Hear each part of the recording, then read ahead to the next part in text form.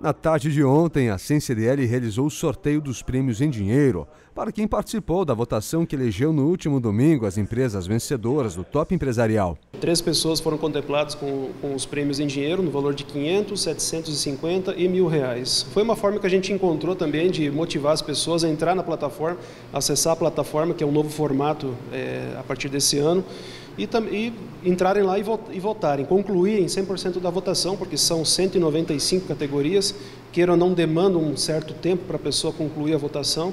Então foi uma motivação a mais que a diretoria encontrou para que, que as pessoas entrassem lá e votassem. Das 7.286 pessoas que iniciaram a votação, 5.356 concluíram o formulário e participaram do sorteio. A direção da CNCDL considerou o número de votantes extremamente satisfatório com o novo modelo de consulta pública. Até o ano passado, o prêmio Top of Mind, como era chamado, ele era realizado 100% via telefone. Né? Era uma maneira onerosa e também demorada de realizar. Para você ter uma ideia, para chegar em uma amostragem de 1.200 é, respondentes, a gente teria que ligar para mais de 8 mil pessoas. Muitos não, não queriam responder, enfim. Esse ano, é, através da plataforma online, também a gente mudou o formato, a roupagem da campanha, e através da plataforma online é uma, é uma maneira também mais democrática. Qualquer pessoa pode acessar a plataforma, fazer seu cadastro e realizar a votação. Então, é, esse formato veio de encontro justamente a isso, democratizar, democratizar o prêmio.